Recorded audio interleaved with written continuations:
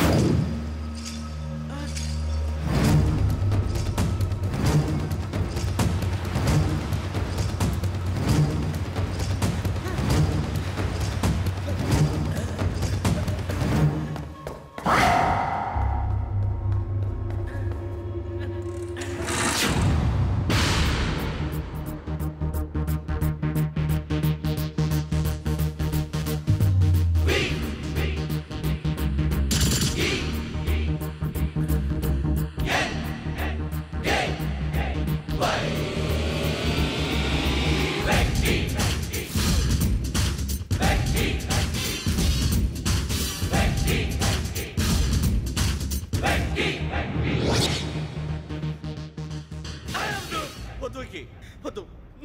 మా నుంచి తప్పించుకోవటం అంత సులభం కాదు. నేను పరిగెత్తి పరిగెత్తి అలసిపోయాను. ఏం కావాలి? నీ ప్రాణం అక్కర్లేదు. నీ ఆస్తి అవసరం లేదు. ఏదో అవసరానికి రెండు వేలు అప్పటితే ఇలా చంపేపోతున్నాడు జీవాజీ. ఆయన అప్పు తీసుకున్నాడు తప్పించుకుని తిరగాలి కానీ ఆపేసి మీకు అక్కడ పెట్టండి. కొత్త అప్పు ఇవ్వకూడదని. ఇదిగో వెంకీ కావాలంటే నీకు ఇచ్చిన పాత బాకీ మర్చిపోతాను. నన్ను వదిలే మీరు మమ్మల్ని వదలనా? మేము మిమ్మల్ని వదలలేమండి. మీ దగ్గర అప్పు తీసుకున్న నిజం మమ్మల్ని నీలా వెంటాడుతుంది. అందుకు నన్ను ఎంత ఆడుతున్నారా నన్ను అంతగా అయిపోతలేదు ఉండి లేదంటే మొత్తం లేకుండా పోతారు. ఇప్పుడు మీకు ఇస్తే జరిగేది అదే.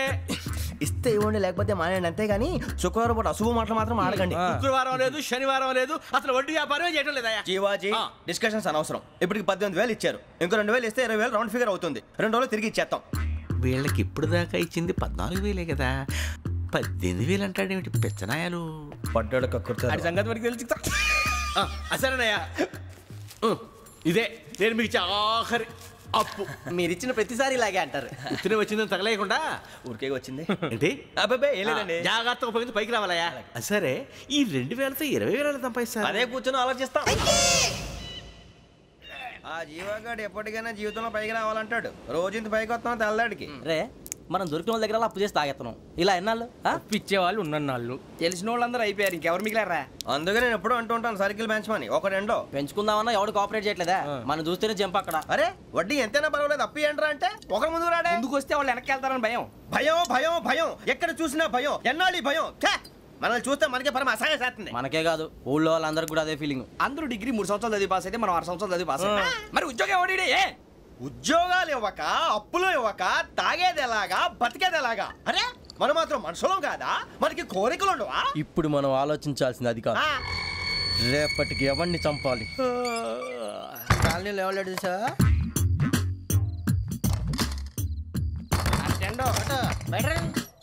నువ్వా వెంకీ? ఏంటి వెంకీ ఈ టైంలో వచ్చా దా, నీతో మాడే పని ఉంది. దా చెప్తా. ఏ బాగా నిద్రొస్తుందా ఆ సరిగానే రే. నువ్వు మమ్మల్ని చూసే తలిపేసావా? మామూలుగానే వేసాను. మామూలుగా వేసేవాడివి. మేము రావడానికి ఒక నిమిషం ముందో మేము వెళ్ళాక ఒక నిమిషం తర్వాత వేయాలి కానీ. బిలాల్ రాజా నాకు నిద్ర వచ్చి పడుకుందామని తలుపేసుకున్నాను. అయినా నా ఇంటి తలుపులు నేను అడిగేసుకోవాలంటే. తప్పు చేసిన కాక ఇంకా గేర్ సమాధానం చెప్తావా? మీ ఇంట్లో పెళ్ళిడికి వచ్చిన ఆడపిల్లలు ఎదురున్నారు. ఇది అమ్మాయిలు మీతో ఎప్పుడైనా యథాశాలు వేసానా విన్నారా? తలుపులు వేసావు. అనవసరంగా గొడవ ఎందుకు ఇక్కడి నుంచి వెళ్ళండి. గొడవ? మీ ఇంటి మీద పడి ఎప్పుడైనా గొడవ చేశానా బిని గారు? లేదు బాబు. విన్నారా? చెప్పు. మమ్మల్ని చూసి తలుపులు ఎందుకు వేసుకున్నావు? అరే మాకు అప్పించిన వాళ్ళు కూడా మమ్మల్ని చూసి ఎప్పుడు తలుపులు వేసుకోలేదు. ఏం చేయాలి మరి నువ్వు ఎందుకు వేసుకున్నావు? బాబు టప్ అయిపోయింది. బుద్ధి తక్కువ వేసాను చాలా? అంటే మా మోకాల మీద తలుపులు వేసామని ఒప్పేసుకుంటున్నావు. ఒప్పుకుంటున్నాను. సరే ఇప్పుడు చెప్పు. మా మొఖాల మీద తలుపులు వేసేంత తప్పు మేము ఏం చేసామరా అయ్యో బాబు. తప్పైపోయిందని అంటున్నారు కదా వదిలేయండి బాబు. అదే తప్పు మేము చేసి మమ్మల్ని వదిలేయమంటే మీరు వదిలేస్తారా బిని గారు? తప్పని అంటున్నారు తప్పని ఒప్పుకుంటున్నాడు కదా అయ్యా. ఇప్పుడు టైం పదకొండు అయింది. వెళ్ళి పడుకోండి. పదకొండు అయిందా? కొమ్ము ఉంచాడు కదా. నాకు సంబంధం ఏంటి? ఉంది. సంబంధం ఉంది. పదకొండు గంటలకి నా క్లోజ్ ఫ్రెండ్ ఢిల్లీ వెళ్తున్నాడు. ఐదు వేలు అప్పిస్తానని ఎయిర్పోర్ట్ రమ్మని చెప్పాడు. నీ గొడవలో పడి ఆ సంగతే మర్చిపోయాను. ఇప్పుడు నాకు జరిగిన నష్టానికి భర్తీ ఎవరు చేస్తారు? మీరా? మీరా? మీరా? ఎవడు పడితే ఎందుకు చేస్తాడా భర్తీ? భలే వాడి నువ్వు. తప్పు ఎవడు చేసినా వాడు చేస్తాడు. దానికి కారణం ఈ పది మనిషే కదా. వాడే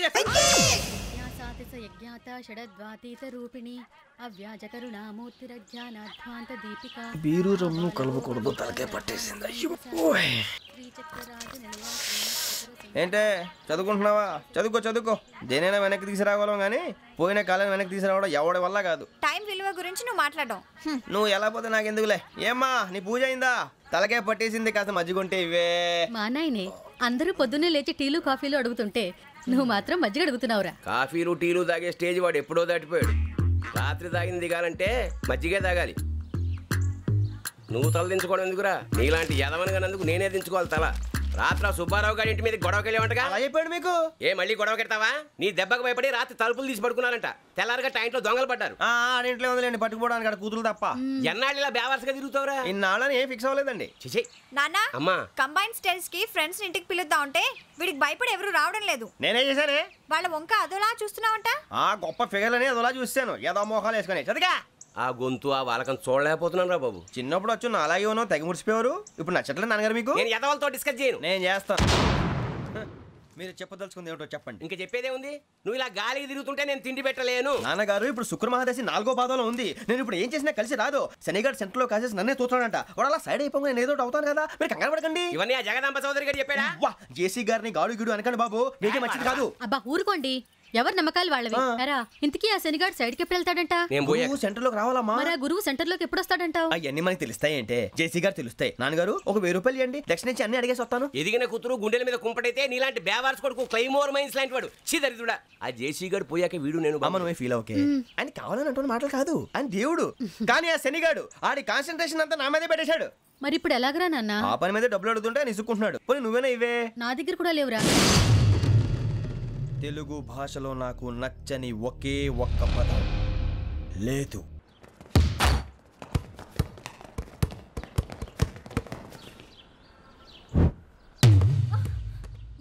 అరే సూరే బాల్ తీసుకురారా? సారీ ఏదో పొరపా బాలి. బాస్కెట్ బాల్ మాలాంటి ఆడాలి. మీలాంటి మాసన కొడుకులు ఆడితే ఇలాగే ఉంటుంది. ఇలాగే ఇలాగే. అమ్మాయిల ముందు ఫోర్స్ కొడతావా? ఆహా అయితే నిన్ను కొడతా.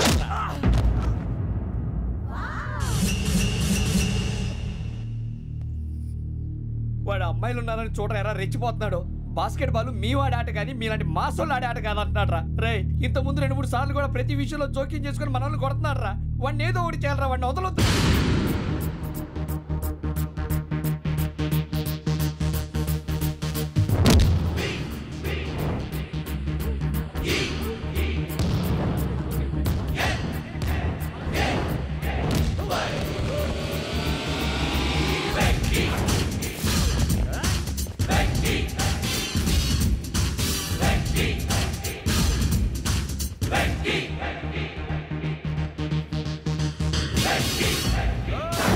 ఆడపిల్లలంటే ఎవరికైనా దెబ్బ తగిలితే అయ్యో అంటారు.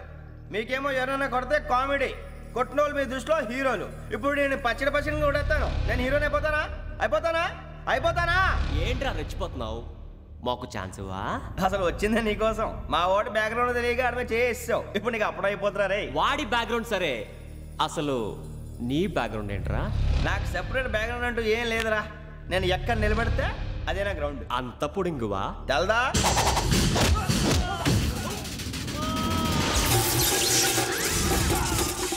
ఎవ్వా మన మామిడి కొట్టినప్పుడు వావ్ అన్నారు.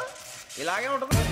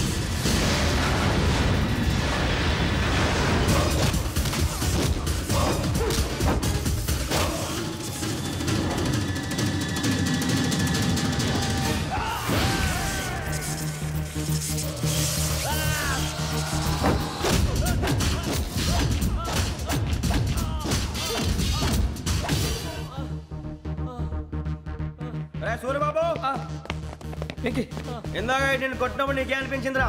కుమ్మేయాలనిపించింది మరి కుమ్మే అమ్మో. కుమ్ము. రేయ్.